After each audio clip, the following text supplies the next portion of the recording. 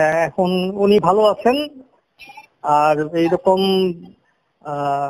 খবর কারা ছড়াইতেছে কেন ছড়াইতেছে এটা আমরা খুবই মানে বিরক্ত হচ্ছি।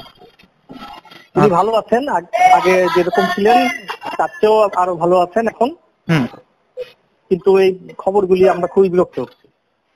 আচ্ছা আর এমনিতে এখন তো উনি কি- কি অবস্থা? এখন কি মানে ঘুমাইতেছে নাকি? এখন উনি ডিনার করছেন। ও ডিনার। করতেছেন ডিনার করতেছেন। আমরা একদিন আসব দেখে যাব।